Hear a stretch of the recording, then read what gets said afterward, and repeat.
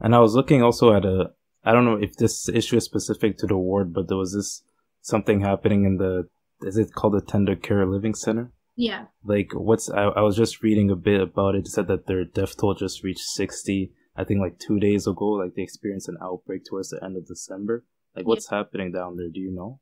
Yeah, so it, it's a it's a very unfortunate situation in which um, a lot of the the older residents have been infected with the coronavirus, and there have been a number of people who have passed away as a result of it.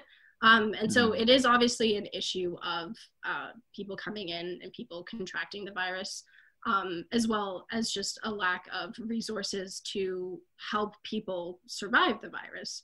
Um, and the concern with that is more that um, it's it's a it's a it's a living center where it requires more resources than it actually has, um, and mm. it's an issue of provincial and federal government supplying those resources, which they haven't.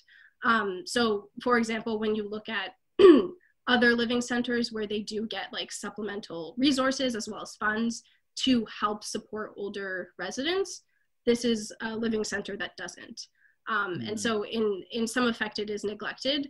Um, and it does show in the fact that people are dying from it and people are losing their loved ones. Um, so that's that's the situation with the, um, the that living center um, and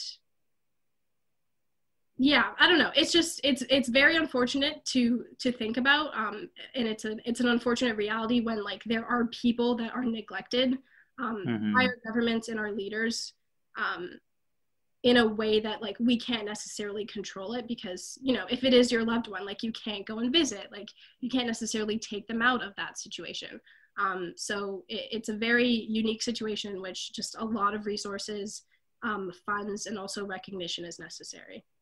Yeah, because I did I did notice like during this pandemic, a lot of the for-profit long-term care homes have have been like it's been rough. It's been rough in there. Yeah. So.